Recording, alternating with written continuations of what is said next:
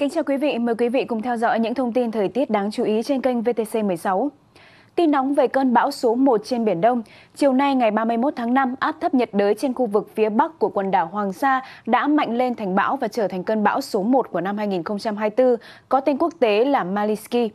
Hiện tâm bão đang nằm trên vùng biển phía nam của tỉnh Quảng Đông Trung Quốc. Sức gió mạnh nhất vùng gần tâm bão mạnh cấp 8, từ 62 đến 74 km/h và giật cấp 10, di chuyển theo hướng bắc với tốc độ là khoảng từ 15 cho đến 20 km và dự báo đến 13 giờ chiều mai ngày 1 tháng 6, cơn bão sẽ di chuyển theo hướng bắc đông bắc với tốc độ là khoảng 10 km và suy yếu dần thành áp thấp nhiệt đới.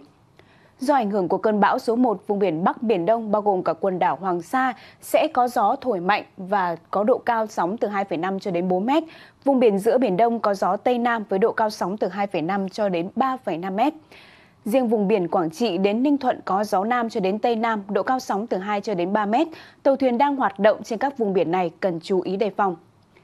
Chuyển sang thông tin thời tiết trên đất liền, thưa quý vị, theo Trung tâm Dự báo Khí tượng Thủy văn Quốc gia cho biết, hôm nay khu vực Nam Đồng bằng Bắc Bộ và các tỉnh từ Thanh Hóa cho đến Quảng Bình tiếp tục xuất hiện mưa vừa, mưa to và rông với lượng phổ biến là từ 40 cho đến 70 mm và có nơi trên 120 mm mưa rất lớn.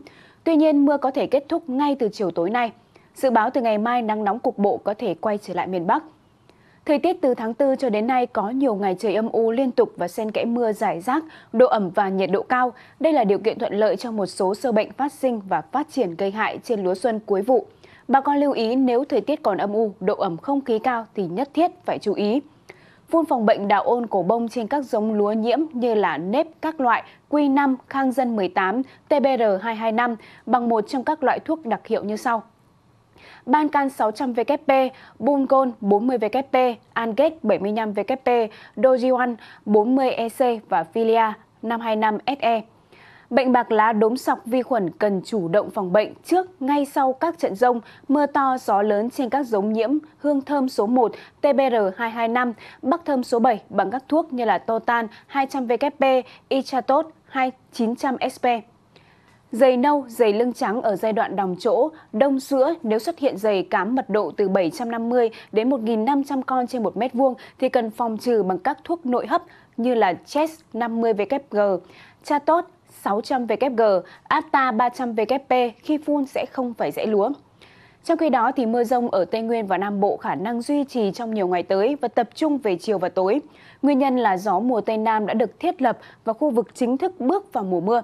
Riêng trong chiều và tối nay, cả hai khu vực này sẽ có mưa rào và rông rải rác, cục bộ có mưa to, với lượng mưa dao động từ 15 cho đến 30 mm và có nơi trên 50 mm. Thưa quý vị, trong ngày mai ngày 1 tháng 6, thành phố Hồ Chí Minh sang nắng gián đoạn. Mưa xuất hiện sau 13 giờ và xảy ra diện rộng trong chiều, có nơi có mưa vừa và mưa to. Để phòng cơn lốc xảy ra, xét và gió giật mạnh, một số tuyến đường có thể xảy ra ngập nhẹ cục bộ do mưa. Sau 19 giờ trời tạnh giáo và thời tiết thuận lợi dần, nhiệt độ thấp nhất dao động từ 25 cho đến là 33 độ C. Và cuối cùng sẽ là những thông tin thời tiết cụ thể tại các vùng trong ngày mai. Mời quý vị cùng theo dõi.